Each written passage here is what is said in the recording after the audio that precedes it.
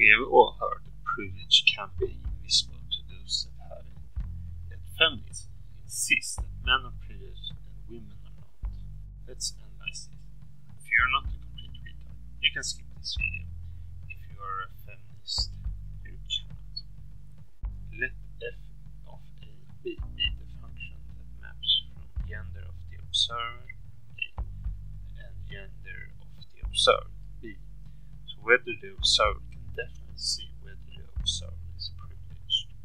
We are told that f of a b is false if a equals b. This gives us the truth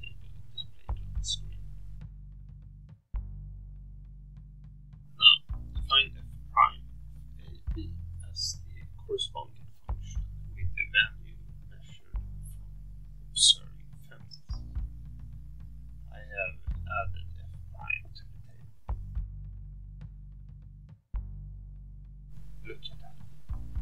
f of ab does not equal f prime ab for any ab where either is known. Obviously, this is